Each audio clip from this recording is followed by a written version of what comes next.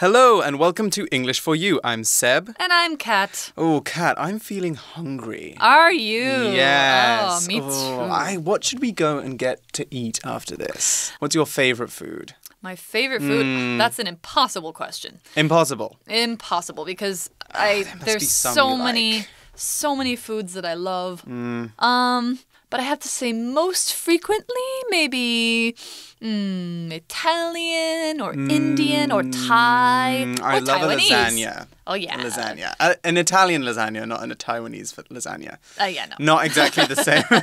Yeah. Taiwanese fu- food is good too, yeah. Yeah, I Mm-hmm. mean, Ta- Taiwanese food is lovely, but Taiwanese Italian, mm, I don't know. Sometimes it's sometimes it's difficult Well, that's to find fusion. good. Fusion food can be good. Fusion is a mix Oh, yeah. of foods Yes. that can be good. But we're not going to be talking about fusion today. We're going to be talking about food from one very particular country. And It's a country I'm sure you know a lot about. So let's go through to our article and find out more about that. Reading.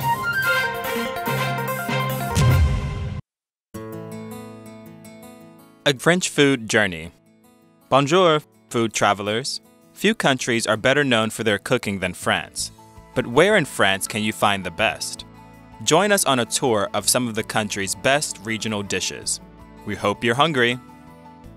Normandy, Calvados. Our first stop is Normandy, a peaceful region filled with quiet orchards. Normandy produces most of France's apples, and many of these go into its most famous alcoholic drink, Calvados. This expensive drink is aged for at least a year in wooden barrels. It is often served in between courses at local restaurants to prepare people for the next dish. Calvados is so popular that you can even go on a special tour to see the farms that make it. Brittany, crepe. Brittany lies west, further down France's northern coast. Many people know it for its green fields and beautiful beaches, but also for its most famous dessert, the crepe. To make this tasty treat, a mixture of eggs, milk, flour, and butter is spread thinly over a hot surface.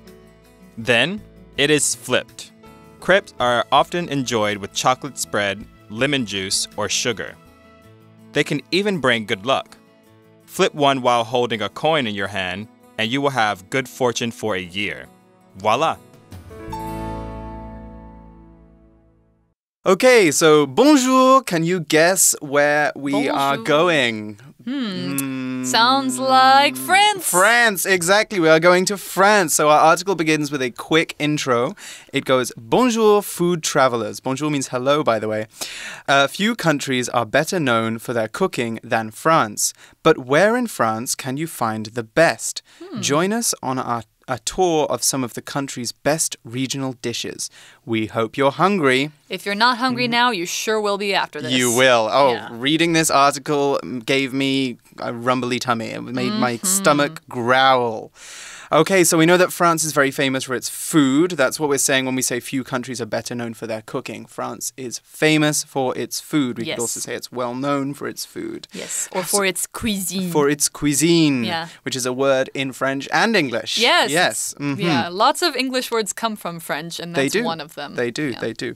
Okay, so how does our article begin, Kat? Okay, so um, apparently we are starting in the north. Okay. So our first stop is Normandy, a Mm. peaceful region filled with quiet orchards. I've heard Normandy is really lovely. Mm, it is lovely. Yeah, Mm-hmm. um, I've not been there myself. I've only been to Paris, but I Mm-hmm. plan on going back to France at some point and exploring Mm-hmm. more of the country. But um, it's filled with quiet orchards. So, what is an orchard exactly? Well, Hmm. an orchard is like a garden or a grove of fruit trees, basically. It's where Mm-hmm. you have like a lot of fruit growing on trees. So, for Mm-hmm. example, you might have an apple orchard, or you might grow oranges, things like pears, peaches, cherries. Um, what other fruit trees are there? Plums. yeah, Plums are very yes, popular in Taiwan. There's probably lots of plum orchards here. And I think almonds as well. Uh, yeah, can have an almonds also almond grow on orchard. trees. Mhm, Yeah. Mm-hmm. They do, they do. Actually, my hometown is filled with orchards, with apple orchards and with pear orchards. That's awesome. Yeah, it's quite a lot like Normandy. However, um, actually, it is very similar to Normandy because the article says that Normandy produces most of France's apples, and many of these go into its most famous alcoholic drink, Calvados. Okay, so Normandy produces most of France's apples. Produce there is a verb, and when a company, a person, or an area produ- produces something, they make it. So France, for example, is known for producing a lot of different uh, foods and drinks, including cheese, wine, and bread. Those are the three big ones, aren't they? Ugh. Oh, I, I want love some some- of all of them. Some of all of those. Oh, it would be a really good TP if we could have cheese, wine, and bread while we were doing it, right? yes, please. Yeah. Now, normally we use pro, uh, produce to talk about things that we create naturally, such as fruit or vegetables. As wine and bread are both grown on a farm and then changed to make the final product, we use produce with these uh, foods too. However, we can't say that we spent a nice afternoon in the kitchen producing a cake. That, That sounds a bit strange. strange. Yeah, it's a bit strange. Now, one interesting thing about this word is it can be a noun too, but we change the pronunciation slightly. If we say produce or produce in an American accent, right? Yeah, produce. Produce. We're talking about uh, fruits, vegetables, and all kind of related products that are grown or made in a specific place. Mm-hmm. Okay, so one other good word for you to take away from uh, this is manufacture. That's quite similar to produce, but with manufacture, we're talking about things that are made by machines. So we're talking Right. about, you know, maybe phones are manufactured, for example. Mm-hmm. They're put together uh, in a big mechanical process. Right, and I think it's usually things you can't eat, right? Yes, you don't manufacture food. Right. Yes. Maybe very fake food. anyway, our example sentence for produce is Taiwan produces many different types of tea that are drunk all over the world. Yeah, that's true. Taiwan has lovely It tea. does lovely tea. And tea is one of its best produce items, Mm-hmm. I guess. All right, so we're talking about this Calvados drink, and it is Mm-hmm. an alcoholic drink. That's another interesting word here for you. Mm-hmm. Alcoholic is an adjective that means something has alcohol in it, or is Mm-hmm. partly made out of alcohol, or fully made out of alcohol, Mm-hmm. which means that um, it's been made by a drink that is from fermented or aged plants or fruits Mm-hmm. or other ingredients. So um, some ingredient is poured made into a liquid and stored for a long time until it turns kind of sour or strong or sharp and that's called fermentation um, and that's when it starts you know making people feel funny when they drink it kids wait till you're grown up to try alcohol Yeah. because some of it can be seriously strong, like gaoliang or um, whiskey, wine, beer, Mm-hmm. Vodka. Those are all different kinds of alcohol. So calvados is uh, a wine, basically, right? Uh, it's actually more like a brandy. An apple brandy. Mm-hmm. Sounds nice. Okay. Yes. So what's our next line in the article? All right. Mm-hmm. Well, in the article, it says this expensive drink is aged for at least a year in wooden barrels. Oh, wow. Hmm. Yeah. So, like I said, it has to be aged for some time. It has to be let to sit. Yes. So it sounds like at least a year. Some alcohol is aged for decades. Yeah. Mm, For de- like a really long time. Yeah, like- 18 years sometimes. if a wine is more than 100 years old, you can almost be guaranteed it's going to be great. Yeah. Yeah. Yeah, yeah, yeah. Um, so we're talking about this uh, this expensive drink being aged, and we say that it's aged for at least a year. So when we use this phrase, uh, when we want to talk about the smallest amount of time that something is done. So if Kat is baking a cake and she asks me how long she should put it in the oven, I might say you need to bake it for at least 30 minutes. That mm-hmm. means that if she bakes it for any less than 30 minutes, it's not going to be baked. It's still going to be gooey and mushy on the inside. Yeah. Not a good cake. So, what is the opposite of at least? At most. So, I could say that this project shouldn't take you uh, too long. It should take at most three days. Oh. So, In three days, you will have definitely finished your work. Right. Mm-hmm. It could be shorter though. Yes, it could be shorter. So we saw that they are being aged, they're uh, being fermented in these barrels. But what are barrels? Okay, Mm. well, a barrel is a very important thing in the process of making calvados Mm. and um, a lot of other things too. It's a noun that means a big, big container, and it's usually something that contains liquids or grains. So, for example, barrels of oil, which gets shipped around Mm-hmm. the world, or um, barrels of, like we said, calvados, cal- uh, wine, or Mm-hmm. maybe cereal, or wheat, or I don't know, various other things that you can put in there. Mm-hmm. Um, they close it up. They use it for shipping things, and, and other words like sending them around the world, or for storing items. Um, usually, Mm-hmm. Right. like a lot of one item. Yes. And typically, it's made out of wood or metal. Um, oh, yeah, that's true. yeah, but alcohol Mm-hmm. is usually stored in wood barrels because it absorbs kind of the flavor from the wood or Oh, the smell of true. it. It's it's much better than getting like you know a metal taste in your Or a ugh. plastic barrel. No, no. good, no good. All right, so Mm-hmm. an example sentence of this wine is often kept in large wooden barrels before it is sold. Mhm, okay. So what happens after that? It says that it is often served in between courses at local restaurants to prepare people for the next dish. Okay, so this uh, drink is being used to prepare people for the next dish. Now, when we prepare someone for something, we are getting them ready for it. So, for example, Kat helped me out last weekend. She prepared me for a big we interview by giving me lots of helpful advice about what I should do. So, because we worked together and she gave me this advice, she made me ready. She prepared me for the interview. Oh, That's Oh, just an did I? example. Yeah. I'm sure you would. I'm sure you would If if it came to that, if it would, came of to course. that, yeah. yes. Um, so in the article, uh, they are being the people at the restaurants are being prepared for the next course by drinking the Calvados, and this is because some drinks, uh, some brandies, some liquors are used to help us kind of clean out our palate. Digestive system. Yes, they're called yeah. digestifs or aperitifs. Yeah. Um, there's some fancy French words for you. Uh, yeah. I think my favorite aperitif is limoncello, which is a, le-. Oh, a lemon liqueur limoncello. from Italy. Mm, yes. Okay, so where next? Okay, well, um, we're not quite moving on yet, but we are Mm-hmm. still in Normandy, and it says Calvados is so popular that you can even go on a special tour to see the farms that make it. That sounds really Mm-hmm. nice. Like going on a farm tour, going to see a lot of apple trees. It sounds Yeah. sounds like a really nice countryside. I'm glad you didn't let us leave Normandy just yet because Mm-hmm. it does sound very fun to go on a tour and a t- because a tour is an organized visit to a place or site. Often people go on tours when they are on vacation. It might be that they are traveling in a big group that takes them on a plane to a different country or they might be joining a tour for a single day. So for example, we could go on a museum tour, on a walking tour of a city, on a cycling tour, etc. yes. Um, when a band goes on tour, though, they don't go on a vacation together to another country. They are performing in lots of different cities around the world. Right. Now, an example sentence of tour is This summer, my mum is going on a tour around southern Italy with her, her friends. I'm so jealous. Me too. Yeah, me too. Mm-hmm. All right.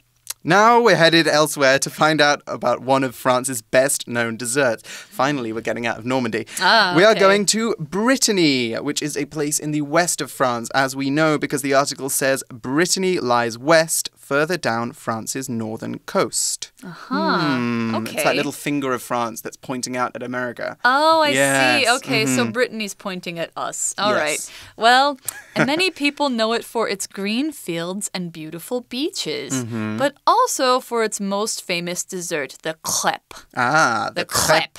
The or crepe. as we call it in America, the crepe. Oh, Yeah. well, that takes away I know. some of the magic. Yeah.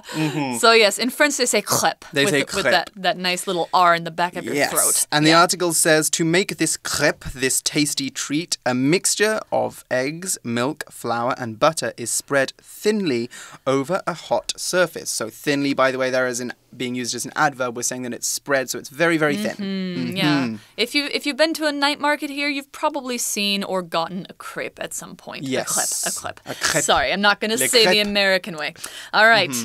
So then, how do they make this? Mm-hmm. How do they make it? They use a mixture of things. So a mixture is a noun, which is Mm-hmm. uh, something made of several different parts, evenly mixed together into one big um, thing, like Mm-hmm. a liquid or something.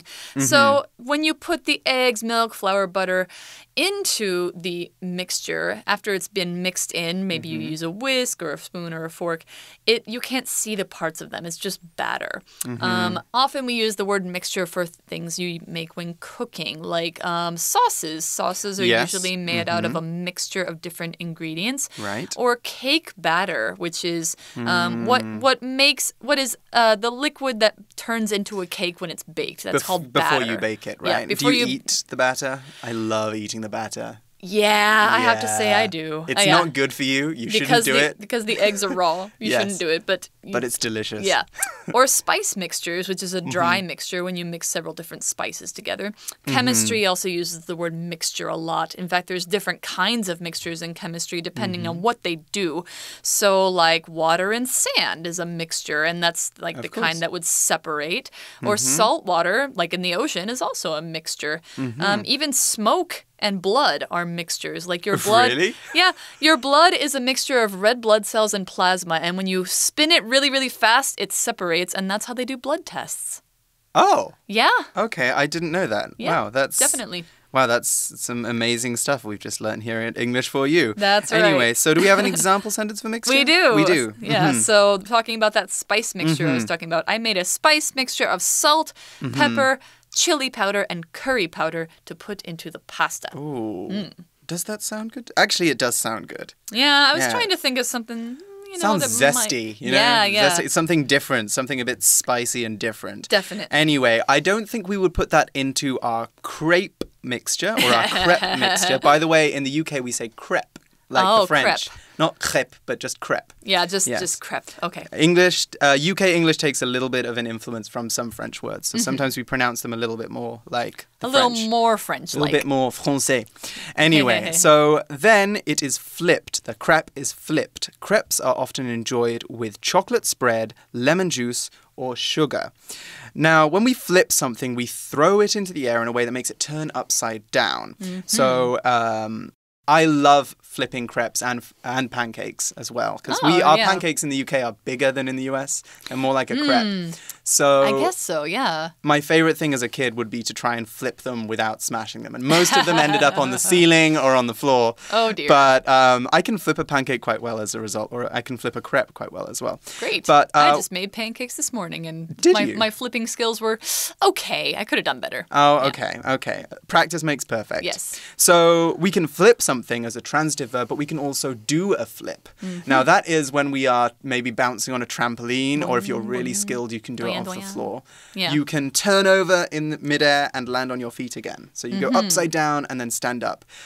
Don't do this if you don't have someone to train you and show you how to do it, because you're going to break your neck or something bad is going to happen. That'd be bad. Anyway, we are going back to our crepes and. Actually, one interesting thing about uh, Brittany is they have a belief that if you hold a coin behind your back and you flip a crepe and you flip it without breaking it, then you'll have good luck for the rest of the day. Wow. Yeah, so handy trick. All right. Well, it says, like Seb was saying, they can even bring good luck. Ah, I see. So I just spoiled the pr- surprise a little bit there, didn't I? Oops. Because the next That's line right. says, flip one while holding a coin in your hand, and you will have good fortune for a year. Voila. Voila. Voila. That's another useful French word to say. That means. Um, There it's- There it is. Yeah, there it is. There you go. Mm-hmm. Um, so I was wrong. It's for a year. That's that's quite a bit more luck. Quite a bit more luck. I would like so a year's worth can you try this as many times as you want? What if you break one? Uh, I don't know if it's like a mirror. Hmm. Because we say in England that if you break a mirror, you get seven years of bad luck. We say that in the U.S. too. yeah. mhm. I think it's also a belief here. Yes. But the most important thing is that you hold a coin in your hand while you're doing it. Now, a coin, that's a noun, is a type of money that is found that is round, flat, and made of metal. So if you get out your wallet now and look around for those little 1, 5, 10, 50 NT coins, you'll see that they are all you know, round and they're flat and they are all, as I said, coins. Um, Yes, they are. They are, yes. So we also call this money change. The change is the not paper money that we get back when we buy something or just kind of the small bits of money that we have in our pockets to, you know, use the crane machines or Right, like, uh, or buy coffee at 7-Eleven. So our example sentence for coin is Jim took out his wallet and paid for his coffee in coins. Okay, cheap coffee then, Jim. Well, I hmm. mean, you know, you can use a 50 NT coin. Could yes, be, you could. Could be not you too could. bad. Yep. All right. So you flip one while ha- holding Mm-hmm. a coin, you will have good fortune. So what is fortune here? Well, Mm-hmm. fortune is a noun that means your luck, like whether it's good luck or bad luck. So good fortune, bad fortune.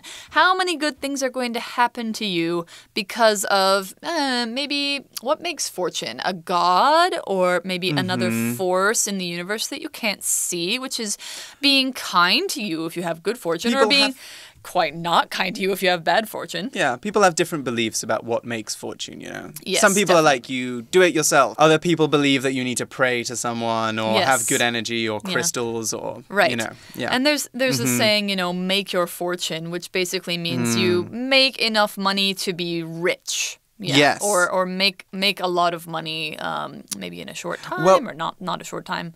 That that's true, isn't it? Because fortune can also mean money. Yes. Like a lot of money. Like- your fortune is yeah. your wealth if you're very wealthy. Like if you Mm-hmm. spend a lot of money on something, you can say this cost a fortune. Yes. Doesn't have to be this your whole so fortune, expensive. Mm-hmm. but a really a lot of money is a fortune. Yes. Okay. So an example sentence of this might be Ariana won 20,000 NT dollars in the receipt lottery. Woohoo! Wow. So 20,000. so she took her friends to dinner to celebrate her good fortune. I would too. Yeah. Uh, yeah, share your fortune. Share it okay, so as we said, voila, that is uh, the first two stops on our little trip around France. But don't go away because we've still got our For You chat and we'll be back again tomorrow to talk about uh, two more places on our journey around France. All right. For You Chat.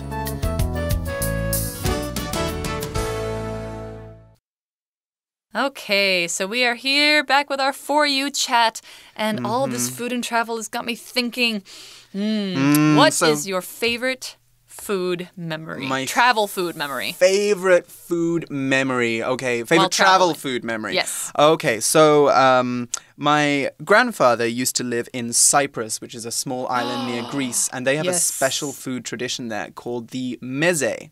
I've heard of meze. Yes, mezes are great. They are a, a type of meal that lasts for a very, very long time. Normally Ah. Three hours, four hours, six hours sometimes. They can be very long. And then they're made up of very small plates. so oh, you have maybe 30 courses or 40 courses of constant food just going in slowly. And you eat a little bit and then you pause, chat, drink some wine or some soda. And relax, and then have your next one coming. And my favorite food travel mem- memory is of being in this very old Mediterranean house in in like the courtyard outside with these vines growing down around us, and the hot summer sun, and getting these slow, lovely little dishes coming through every half an hour. That just sounds like such Yes, a dream. It was a dream. It was the best thing I think I had that summer. What about you? What's your favorite food travel memory? Hmm, I have to say, um, it was when my mom and I were going through Italy a Mm-hmm. few years ago. We went to this famous town called Siena, um, which I, don't know if you've been there. I've yeah. not been, but I'd love to go to Yeah, Siena. we went to Siena, and um, Siena's famous for all of its buildings being this beautiful kind of red brown color, which is actually the the there's a color named after it now. Oh. But we went into um, a restaurant which was supposed to be about 200 years old, and Mm-hmm. it was down inside of a former crypt, which is like a Oh, place spooky. a place underground where they used to keep dead bodies. But it was not Mm. spooky. Um, it was lovely, and um, the stones kept everything cool, so they didn't need air conditioning. Oh. And I ordered a risotto in that was made inside a wheel of cheese, an entire What? wheel of cheese. Oh my god, that yes. sounds fantastic. So imagine a cheese that is as big as a big dinner plate. And then Wow. it's like carved out in the middle like a bowl. And Mm-hmm. you put the risotto inside and it's just mixed up with cheese. It was It was the only time in my life I think I can say there was too much cheese. Oh, really? Yes. I think I might have cried. Getting that oh. dish, I might have cried. Oh, then you'll have to uh, experience that. Wow. Yeah. Okay. Well, now I'm super hungry, so I mm-hmm. can't wait for us to come back tomorrow to talk more about this fantastic food that we can discover around France. Mm-hmm. So don't go away for too long because we'll be back tomorrow. All right, For see you English for you. I'm Seb, I'm Kat. and we'll see you tomorrow. A French food journey. Bonjour, food travelers. Few countries are better known for their cooking than France. But where in France can you find the best?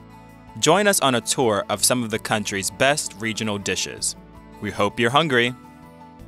Normandy, Calvados. Our first stop is Normandy, a peaceful region filled with quiet orchards. Normandy produces most of France's apples, and many of these go into its most famous alcoholic drink, Calvados. This expensive drink is aged for at least a year in wooden barrels.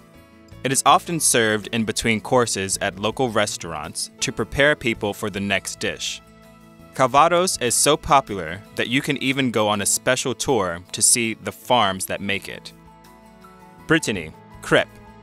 Brittany lies west, further down France's northern coast. Many people know it for its green fields and beautiful beaches, but also for its most famous dessert, the crepe. To make this tasty treat, a mixture of eggs, milk, flour, and butter is spread thinly over a hot surface. Then, it is flipped. Crepes are often enjoyed with chocolate spread, lemon juice, or sugar. They can even bring good luck. Flip one while holding a coin in your hand, and you will have good fortune for a year. Voila!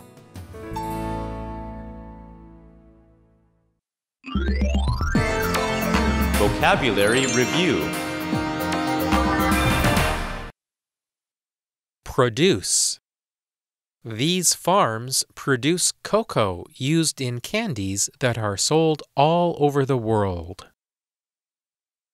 Barrel. The oil was poured into barrels and then taken to the customer on a truck. Tour. While in Paris, we took a tour that showed us the most interesting parts of the city. Mixture. Daniel stirred dirt and water into the white paint, a mixture that created an interesting style of art. Coin. Billy pulled a few coins from his pocket to pay for his drink at the convenience store. Fortune. Sandra was excited by her good fortune when she found 1,000 NT dollars on the sidewalk. 智慧小补帖。 Orchard. Alcoholic. Flip.